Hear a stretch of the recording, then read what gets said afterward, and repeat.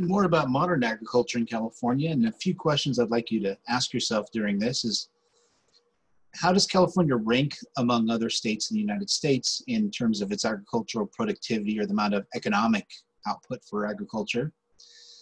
And is the agriculture in California more or less diverse than in other states? And then lastly, how can we produce so much food in California with relatively few, with a relative small percentage of our population actually working in the agricultural sector? So the first one is easy. California is the leading agricultural state. If we look at the top five agricultural states, um, California really dwarfs the others. Like it is 13.4% of the agriculture in the United States and nearly double that of the next highest state of Iowa, with Texas, Nebraska, and others, you know, following behind. But the difference between number one and number two is quite dramatic. And a lot of that has to do with the, the types of things that we grow as well. Let me just show this these maps as an illustration. This is showing where cropland is in the United States in red, and most of the cropland in California is in the Central Valley, although there is more dispersed around. And these are the other Midwestern agricultural states, such as Iowa. Now, if we change our perspective a little bit, if we divide it into two categories, the yellow is what we call row crops or field crops, things like corn, beans, and wheat. And the purple now are orchards and vineyards. And if you look over here at California, you can see that there is a real mixture of both field crops or row crops and orchards and vineyards.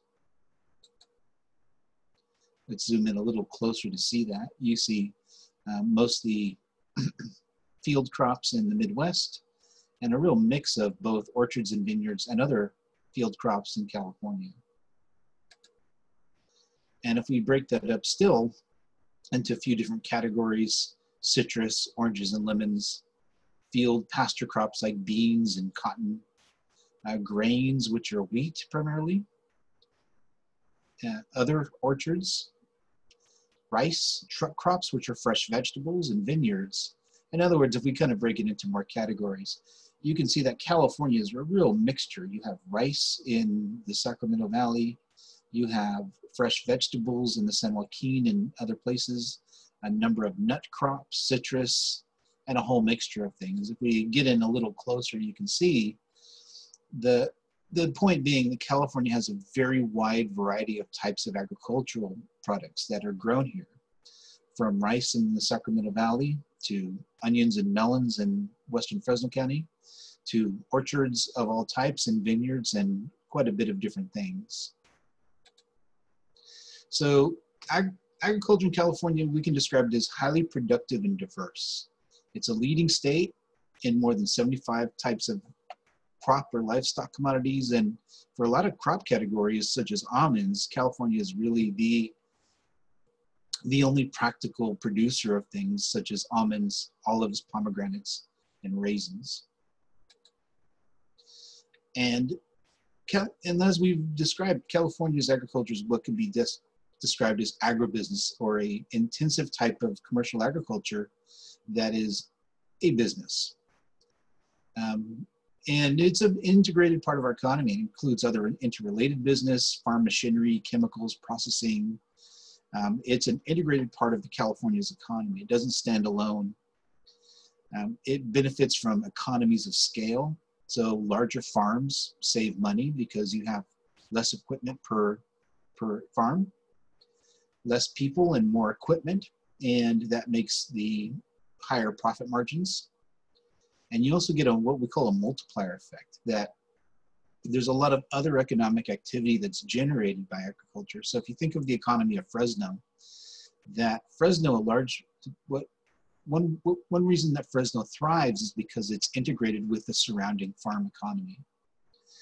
And California also benefits from biotechnology or what we call the green revolution, which is about applying new technologies to grow crops. We'll include some films that illustrate some of this, but you know, there's a whole integration of technologies that's used to grow crops in modern agribusiness, from GPS to remote sensing, GIS, um, genetic modification of plant material. And so farming has gone from, while it's still considered a primary industry, it is very high tech. Now there is some downside to this as well. So with biotechnology and the green revolution, we're, not all varieties of crops are as profitable as others. So about 100 years ago, you could, you know, there were um, hundreds of types of tomatoes grown or hundreds types of cabbage and so on. Um, but now this, take tomatoes for example, where there was about 400 varieties grown 100 years ago, we're down to about 79. And so because these 79 are the most profitable types of tomatoes. And so one downside is that we're reducing the diversity of the crops we grow with the more we have these large scale commercial farming operations. So while it does generate money, it does have some downsides as well. Uh, particularly when we think about things like climate change, that some of these varieties that we're not growing anymore could be better adapted to a changing environment in the future.